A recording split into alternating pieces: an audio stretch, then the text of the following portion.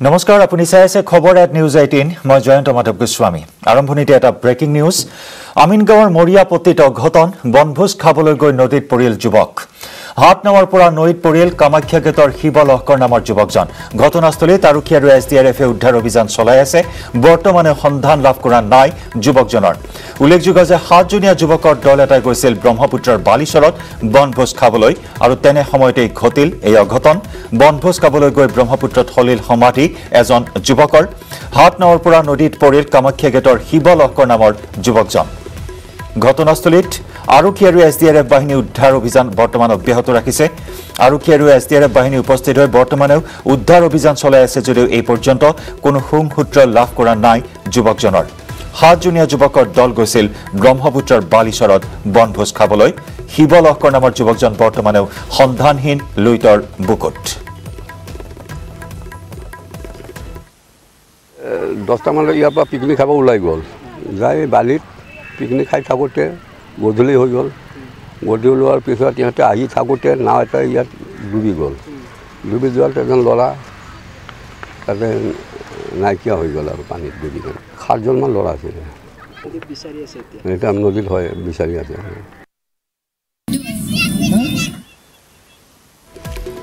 বৰ্তমানে উদ্ধাৰ অভিযান চলাই থকা হৈছে আমি দেখুৱাইছোঁ উদ্ধাৰ অভিযানৰ দৃশ্য। কিন্তু এই পৰ্যন্ত উদ্ধাৰ অভিযান সফল হোৱা নাই। এই মুহূৰ্তলৈকে শিৱ লহকৰ নামৰ যুৱকজনৰ কোনো সন্ধান কোনো সুংসূত্ৰ উলিয়াব পৰা নাই। সাতজনীয়া যুৱকৰ দল এটাই গৈছিল ব্ৰহ্মপুত্ৰৰ বালিচৰত বনভোজ খাবলৈ। আমিনগাঁৱৰ মৰিয়াপট্টিত হাতনাও দুৰ্ঘটনাত পতিত হয় আৰু হাতনাও দুৰ্ঘটনাত পতিত হৈ ব্ৰহ্মপুত্ৰৰ বুকুত সলিল সমাধি ঘটে এজন যুৱকৰ। যুৱকজনৰ কোনো সন্ধান এই মুহূৰ্তলৈকে লাভ কৰিবলৈ সক্ষম হোৱা নাই।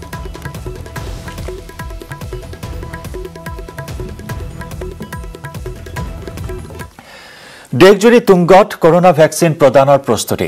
ষোল্ল জানুৱাৰীৰ পৰা প্ৰতিষেধক প্ৰদানৰ বাবে যুদ্ধ সদৃশ তৎপৰতাৰে প্ৰস্তুতি অব্যাহত ৰাখিছে কেন্দ্ৰীয় চৰকাৰে। কৰোণাৰ প্ৰতিষেধক প্ৰদানৰ পূৰ্বে সকলো প্ৰদেশৰ মুখ্যমন্ত্ৰীৰে আজি বৈঠকত মিলিত হ'ব প্ৰধানমন্ত্ৰী নৰেন্দ্ৰ মোদী।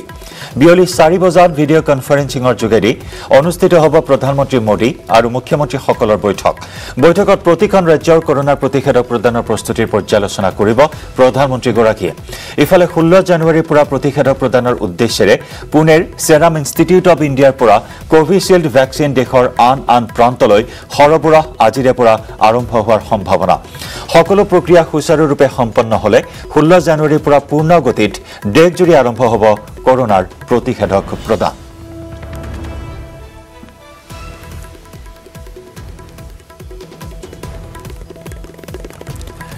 আজি অসমলৈ আহিব বিজেপিৰ ৰাষ্ট্ৰীয় সভাপতি জে পি নাড্ডা। বিধানসভা নিৰ্বাচনৰ ৰণদংকা বজাবলৈ অসমলৈ আহিব বিজেপিৰ সভাপতিগৰাকী।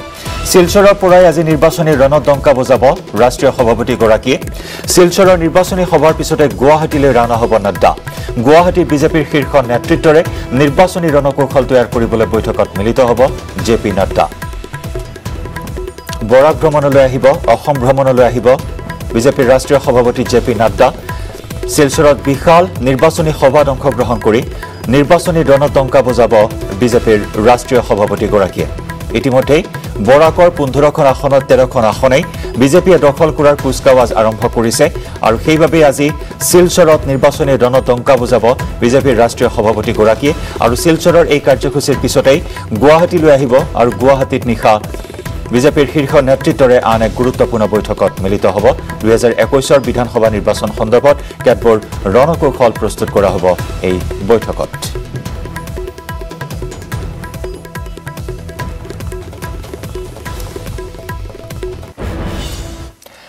সন্মুখত হেঁপাহৰ ভোগালী আৰু ভোগালীৰ বজাৰত এতিয়া সামগ্ৰীৰ জুই চাই দাম। আমি জনাইছো প্ৰতিবিধ সামগ্ৰীত ক'ত কিমান দাম এই মুহূৰ্তত। আমি জনাইছো মিঠৈৰ দাম ষাঠি টকাৰ পৰা তিনিশ প্ৰতি কিলোত। তিলৰ দাম বৃদ্ধি পাইছে এশ ষাঠিৰ পৰা দুশ টকা পৰ্যন্ত। বৰা চাউল পঞ্চাছৰ পৰা আশী টকা জহা চাউল ষাঠিৰ পৰা সত্তৰ টকা দৰ। ক'লা জহাৰ দাম সত্তৰ টকা। ক্ৰীমৰ দাম ছশ টকা প্ৰতি কেজিত দৈ এশ চল্লিছৰ পৰা এশ পঞ্চাছ প্ৰতি লিটাৰত চিৰা প্ৰতি কেজিত ষাঠি টকা জহা চিৰা এশ টকা প্ৰতি কেজিত আৰু চুঙা পিঠা এশ বিছ টকাকৈ নিৰ্ধাৰণ কৰা হৈছে। জুই চাই দাম ভোগালীৰ বজাৰত। ইতিমধ্যে বজাৰসমূহ ভৰি পৰিছে বিভিন্ন খাদ্য সম্ভাৰেৰে। বিভিন্ন অসমীয়া জুতি লগা খাদ্য সামগ্ৰীৰে ভৰি পৰিছে বজাৰ আৰু এই বজাৰত এতিয়া জুই চাই দাম। ক্ৰমাৎ এই বজাৰসমূহতো গ্ৰাহকৰ ভিৰ পৰিলক্ষিত হৈছে। কিন্তু জুই দেখি বজাৰত সামগ্ৰীৰ দাম দেখি মূৰে কপালে হাত দিছে গ্ৰাহকসকলে।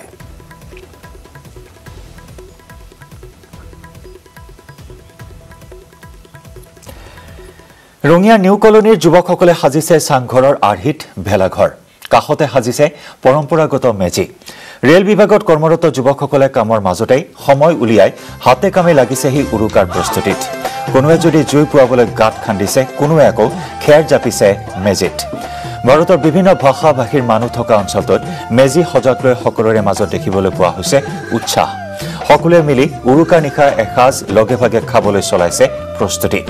ৰেল বিভাগত কৰ্মৰত অন্য ৰাজ্যৰ লোকসকলক অসমীয়া কৃষ্টি সংস্কৃতিৰ লগত পৰিচয় কৰি দিয়াৰ উদ্দেশ্যেই এই প্ৰচেষ্টা হাতত লয় এইসকল স্থানীয় যুৱকে। আমি ৰঙালী বিহু ভালকৈ পাতিব পৰা নাই। সেইকাৰণে আমি ভাবিলোঁ কি আমি ভোগালী বিহুটো উলহ মালহেৰে আমি আয়োজন কৰিম। সেইবাবে আমি আমাৰ কলনীবাসীক এটা উপহাৰ হিচাপে চাংঘৰ বনাই কেনে আমি সমূহ কলনীবাসীক আমি উপহাৰ হিচাপে দিবলৈ দিম বুলি ভাবিছিলোঁ ভাবিছোঁ। এই যিহেতু ৰেলৱে কলনী ইয়াত ভাৰতবৰ্ষৰ বিভিন্ন ঠাইৰ পৰা আহি অস্থায়ীভাৱে মানুহ বসবাস কৰি আছে আৰু সেই মানুহখিনিক আমি আমাৰ অসমীয়া ভাষা সংস্কৃতিৰ লগত চিনাকি কৰি দিবলৈ আমি এই ব্যৱস্থাটো হাতত লৈছোঁ। আৰু ভোগৰ বিহু ভোগালী বিহুলৈ মাজত মাত্ৰ এটা দিন বাকী। মীনমহল সমূহে বিহু উপলক্ষে মাছ ধৰিবলৈ আৰম্ভ কৰিছে এতিয়া পুখুৰীত। কোচ ৰজা ধৰ্মনাৰায়ণে খনন কৰা দৰং জিলাৰ ঐতিহাসিক লখিমপুৰ পুখুৰীত ভোগালী বিহু উপলক্ষে বিশেষ পৰিৱেশ। বিহু উপলক্ষে পুখুৰীৰ পৰা মাছ উঠাবলৈ ব্যস্ত হৈছে মীন মহল থলুৱা মাছেৰে উৰুকাৰ নিশা এসাঁজ খাবলৈ ভিৰ কৰিছে গ্ৰাহকসকলে। আন বছৰৰ দৰে এই বছৰো প্ৰায় দুশ কুইণ্টল মাছ বিক্ৰীৰ বাবে সাজু কৰিছে মীন পালন সমিতিয়ে। আগবঢ়াইছো মহলদৈৰ পৰা আমাৰ সাংবাদিক নৱজ্যোতি মহন্তৰ ৰিপৰ্ট। বিহু অহাৰ লগে লগে বিশেষ আকৰ্ষণ হৈ পৰে এই লখিমপুৰ পুখুৰী কাৰণ এই লখিমপুৰ পুখুৰীৰ পৰাই জিলাখনৰ ভিন্ন প্ৰান্তৰ লগতে ৰাজ্যৰ ভিন্ন প্ৰান্তলৈকে যি থলুৱা মাছ এই থলুৱা মাছ ৰপ্তানি কৰা হয়। তাৰপিছত ৰমেশে দেখুৱাব ইতিমধ্যে মাছসমূহ উঠাবলৈ আৰম্ভ কৰিছে যি কমিটিয়ে। আৰু বিগত বছৰসমূহৰ দৰে এই বছৰো দেখিবলৈ পোৱা গৈছে যে তেওঁলোকে এই যি পুখুৰীৰ মাছ তেওঁলোকে উঠাইছে। আৰু লখিমপুৰ পুখুৰীৰ ঐতিহ্য আছে। আৰু এই ঐতিহ্য ৰক্ষা কৰি গাঁৱৰ লোকসকলে যি বিহুৰ দিনটোত এই পুখুৰীৰ পৰাই থলুৱা মাছ তেওঁলোকে খায় লগতে ভিন্ন প্ৰান্তলৈকে এই মাছ বিক্ৰীৰ কাৰণে লৈ যায়। আমি কমিটিৰ লোকৰ লগত কথা পাতি যত্ন কৰিম যিহেতু প্ৰতি বছৰ তেওঁলোকে মাছ উঠাই কিমান মাছ উঠাইছে এইবাৰ বা কিমান মাছ এইবাৰ তেওঁলোকে বিক্ৰী কৰিবৰ কাৰণে সাজু কৰি তুলিছে।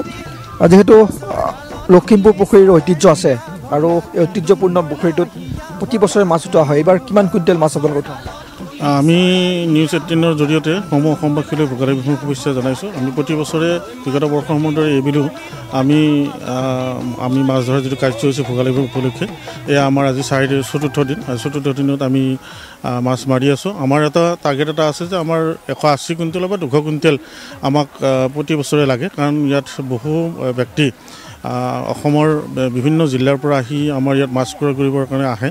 আৰু আমি ইয়াত সুলভ মূল্যত মাছ বিক্ৰী কৰাৰ ব্যৱস্থা কৰি আছোঁ। এতিয়া আমাৰ ইয়াত যিটো কাউণ্টাৰ আছে আমি ইয়াত দহটা কাউণ্টাৰ কৰোঁ আমি স্থানীয়ভাৱে মাছ বিক্ৰী কৰোঁ।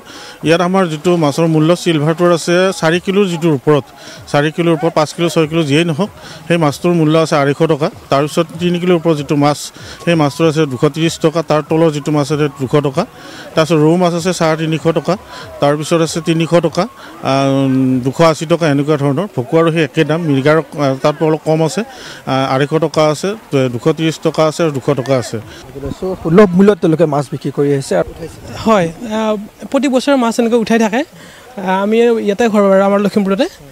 আমিও মাছ ইয়াতে মানে সুলভ মূল্যত মাছ লওঁ ইয়াৰ পৰা লখিমপুৰত হয়। আমি শ্বেয়াৰ আছে ইয়াতে লখিমপুৰ মীন মহলত। শ্বেয়াৰ আছে গতিকে আমি প্ৰতি বছৰ ডেৰ কিলো কৰি মানে ইয়াৰ যিখিনি শ্বেয়াৰ হোল্ডাৰ আছে তেওঁলোকে ডেৰ কিলো কৰি ফ্ৰী পায়। দেখুৱাইছে মাছ তেওঁলোকে ইতিমধ্যে উঠাই আছে আৰু ইতিমধ্যে উল্লেখ কৰিছে যে কমিটিৰ লোকসকলে বা স্থানীয় লোকসকলে উল্লেখ কৰিছে যে তেওঁলোকে এই লখিমপুৰ পুখুৰীৰ যি মাছ এই মাছ তেওঁলোকে সুলভ মূল্যত বিক্ৰী কৰে যাতে ভোগালী বিহুৰ উৰুকাৰ নিশা আনন্দৰে ঘৰত এসাঁজ লোকেল মাছেৰে খাব পাৰে তাৰ কাৰণে তেওঁলোকে বিশেষ ব্যৱস্থা কৰে আৰু সেই ব্যৱস্থাৰ ফলশ্ৰুতিতেই এই ধৰণে মাছসমূহ উঠাইছে আৰু গাঁৱৰ আহ, ভগাই দিয়াৰ লগতে বিক্ৰী কৰাৰ ব্যৱস্থা গ্ৰহণ কৰিছে।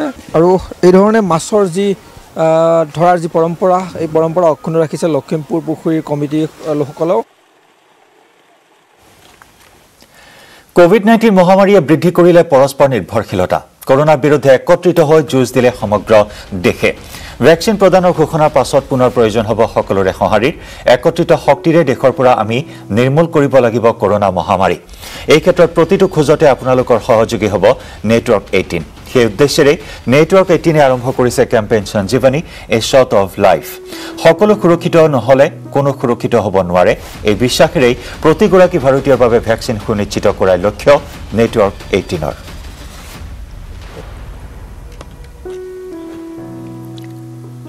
উপস্থিত বিজেপিৰ ৰাষ্ট্ৰীয় সাংগঠনিক সাধাৰণ সম্পাদক বি এল সন্তোষ। আমিনগাঁৱৰ লোক নিৰ্মাণ অতিথিশালাত অংশ ল'ব সাংগঠনিক বৈঠকত। বিয়লি গুৱাহাটী পাবহি ৰাষ্ট্ৰীয় সভাপতি জে পি নাড্ডা। বহুকেইখন সাংগঠনিক বৈঠকত অংশ ল'ব নাড্ডাই। গুৱাহাটীত উপস্থিত হৈছে বিজেপিৰ ৰাষ্ট্ৰীয় সাংগঠনিক সাধাৰণ সম্পাদক বি এল সন্তোষ। আমিনগাঁৱৰ লোক নিৰ্মাণ অতিথিশালাত অংশ ল'ব সাংগঠনিক বৈঠকত। ইফালে আমি জনাইছো বিয়লি গুৱাহাটী পাবহি ৰাষ্ট্ৰীয় সভাপতি জে পি নাড্ডা। শিলচৰত বিশাল নিৰ্বাচনী সভাত অংশ লৈ নিশা গুৱাহাটীত বিজেপিৰ শীৰ্ষ নেতৃত্বৰে বৈঠকত অংশগ্ৰহণ কৰিব জে পি নাড্ডাই।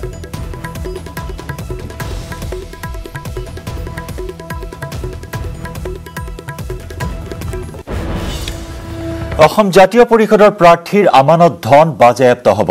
এ জে পিৰ প্ৰাৰ্থীয়ে নিৰ্বাচনত মাত্ৰ পোন্ধৰশ বা দুই হাজাৰহে ভোট লাভ কৰিব। কাকপথাৰৰ বৰআলিৰ দুটাকৈ অনুষ্ঠানৰ ৰূপালী জয়ন্তী অনুষ্ঠানত উপস্থিত হৈ এই মন্তব্য মন্ত্ৰী পীযুষ হাজৰিকাৰ। সমগ্ৰ বৰালি গাঁওখনক সামৰি বাৰেৰহণীয়া সাংস্কৃতিক শোভাযাত্ৰা উলিওৱা হয়। বৃহত্তৰ কাকপথাৰ অঞ্চলৰ বৰালি মধ্য ইংৰাজী বিদ্যালয় আৰু বৰালি আঞ্চলিক পূবেৰুণ যুৱক সংঘৰ ৰূপালী জয়ন্তীৰ অন্তিম দিনৰ উদযাপনস্থলীত উপস্থিত হয়হি স্বাস্থ্য আৰু পৰিকল্পনা বিভাগৰ ৰাজ্যিক মন্ত্ৰী পীযুষ হাজৰিকা। সাংসদ প্ৰদান বৰুৱা বিধায়ক বলিন চেতিয়াক লগত লৈ মন্ত্ৰীগৰাকীয়ে বৰালি মধ্য ইংৰাজী বিদ্যালয়ৰ প্ৰাদেশিকীকৰণৰ ব্যৱস্থা কৰা হ'ব বুলিও প্ৰতিশ্ৰুতি দিয়ে।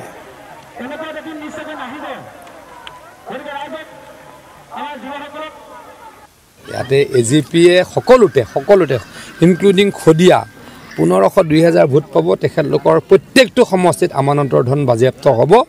আৰু বিজেপি দলটো আকৌ জিকিমে তাতে অলপো চিন্তা নাই। আমাৰ দলে যদি কেণ্ডিডেট দিয়ে বলিন চেতিয়া চাৰিবাৰৰ কাৰণে ইয়াতে বিধায়ক নিৰ্বাচিত হ'ব। হাতে হাতে পল জাকৈ খালৈ লৈ ধেমাজিৰ ঘিনাই চাপৰিত মাছ ধৰিবলৈ লাইলাপুলিয়াত নামিল বহিৰাজ্যৰ এজাক যুৱক যুৱতী শীতল হ'ল মাছ ধৰি উৎফুল্লিত বহিৰাজ্যৰ যুৱক যুৱতীয়ে গালে বিহু। ভোগৰ ভোগালীৰ প্ৰাক্ষণত ধেমাজিৰ ঘিনাই চাপৰিৰ লাইপুলীয়া নৈৰ পাৰত বাহৰ পাতিছে দিল্লী হাৰিয়ানা গুজৰাট মহাৰাষ্ট্ৰ ৰাজস্থানৰ গৱেষক ছাত্ৰ ছাত্ৰী অসমৰ থলুৱা সংস্কৃতিৰ অজানা কথাবোৰ স্বচক্ষে প্ৰত্যক্ষ কৰি অসমৰ গ্ৰাম্য জীৱনৰ জীৱন যাত্ৰাক পৰ্যটনৰ লগত সম্পৃক্ত কৰাৰ পৰীক্ষামূলক প্ৰচেষ্টাত ব্যস্ত বহিৰাজ্যৰ এইসকল মেধা ছাত্ৰ ছাত্ৰী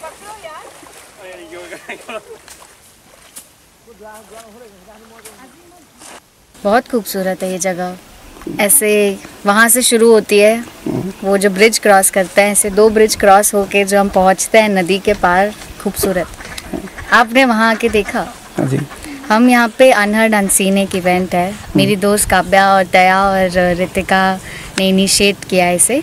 और यहाँ पे हम ऐसे कह सकते हैं कि नया एक्सपीरियंस और अद्भुत एक्सपीरियंस के कॉम्बिनेशन को एक्सपीरियंस करने के लिए हम यहाँ पर आए हैं আমাৰ এই প্ৰগ্ৰেমটোৰ লগত সামঞ্জস্য ৰাখি ভোগালী বিহুৰ আগে আগে আমাৰ লগত বৰ লগত সামঞ্জস্য ৰাখি তেওঁলোকে এটা আনচিন আনহাৰ্ড আনচিন নেদেখা নুশুনা যিবিলাক আমাৰ পৰম্পৰা এই পৰম্পৰাবিলাকৰ লগত খাপ খুৱাই এটা অনুষ্ঠান কৰাৰ কথা কৈছিলে তেওঁলোকে প্ৰায় দ- ষোল্ল তাৰিখলৈকে থাকিব ষোল্ল তাৰিখে যাবগৈ এই গোটেই আমাৰ মাছ মৰা পদ্ধতিৰ পৰা আদি কৰি তেওঁলোকে নদীৰ পাৰত থাকি যিখিনি কৰিছে এইখিনি মোৰ তাৰ কাৰণে খুব ভাল লাগিছে। উৰুকালৈ মাজত মাত্ৰ এটা দিনহে বাকী। ভোগালীক আদৰিবলৈ সাজু ৰাজ্যবাসী। নলবাৰীৰ চামতাতো চলিছে ভোগালীক আদৰাৰ প্ৰস্তুতি। চামতাৰ ৰূপিয়া বাথান গাঁওবাসীয়ে এইবাৰ কাৰেংঘৰৰ আৰ্হিত তিনিমহলীয়াকৈ নিৰ্মাণ কৰিছে এটা ভেলাঘৰ। বাঁহ নৰা আদিৰে সাজি উলিওৱা ভেলাঘৰটোতে উৰুকাৰ নিশা একেলগে আনন্দ উল্লাস কৰিব গঞাই। নিৰ্মীয়মান অৱস্থাত থকা এই ভেলাঘৰটো আলোকসজ্জাৰে সজ্জিত কৰা হ'ব।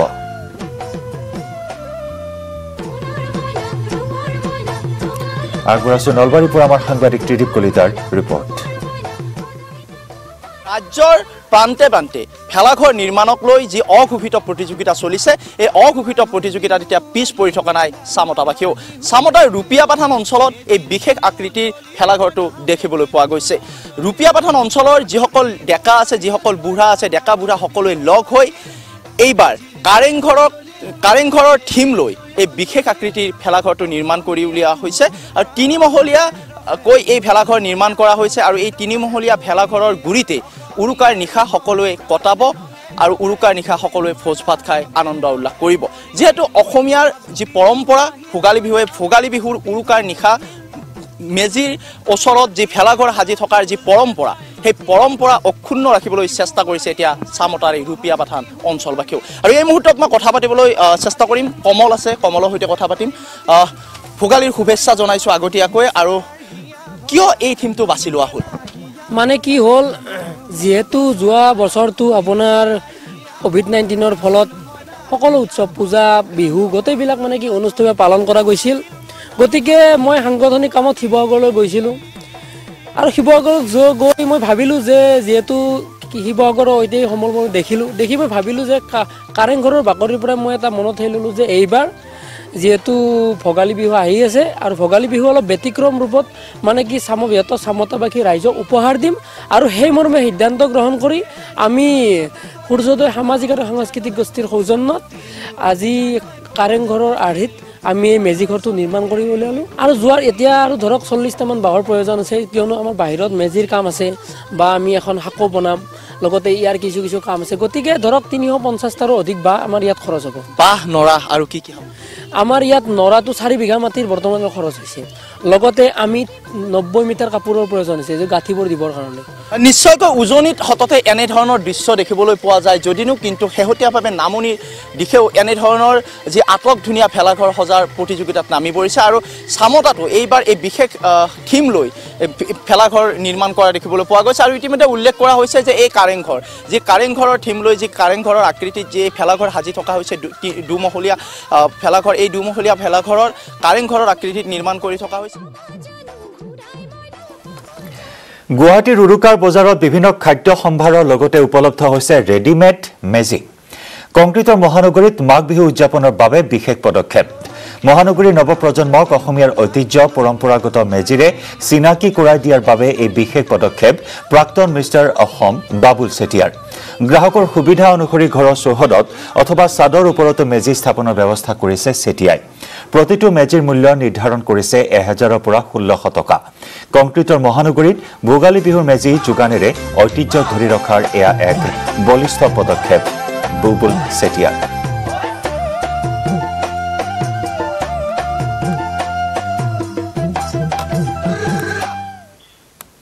খবৰ অব্যাহত থাকিব।